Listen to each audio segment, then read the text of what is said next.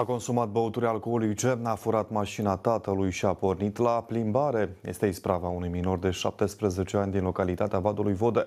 Prins de poliție și supus testării alcoolscopice, s-a dovedit că băiatul avea un nivel de alcool în aerul expirat de aproape 5 ori mai mare decât maximul permis de lege pentru șoferi. Dă cheia la mașină. Nu trebuie să filmați.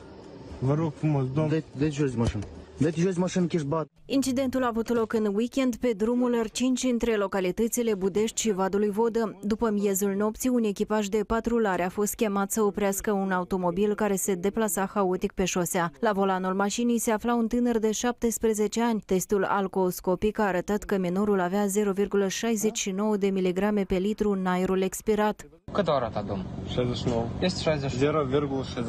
Eu încă n-am 18 ani. N-aveți 18 ani? Nu.